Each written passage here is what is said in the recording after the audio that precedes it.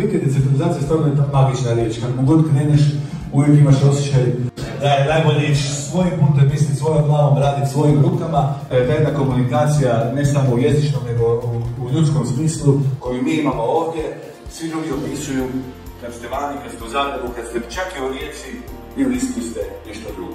Mi smo nešto drugo, zadržimo to drugo, budimo svoji, e, bu- e, imamo svoje, svoju glavu, radimo svojim rukama i ne trebamo imati straha da ćemo i sutra biti gore iznad svih. Ja bih rekao da je Istrijan slobodan čovjek. Slobodan čovjek u slobodnoj zemlji Istri. Čovjek koji je umjeren, koji je radišan, vrijedan, koji je, koji je tolerantan, koji njeguje suživot sa drugim ljudima. Istra je zaista posebna zemlja i kako je Dalibor rekao, Istra predvodi Hrvatsku, Istra ko lokomotiva vuče sve druge regije za sobom IDS, bajka svoji.